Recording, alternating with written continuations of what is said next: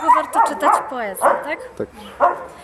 Poezję warto czytać między innymi dlatego, że wypełnia naszą duszę.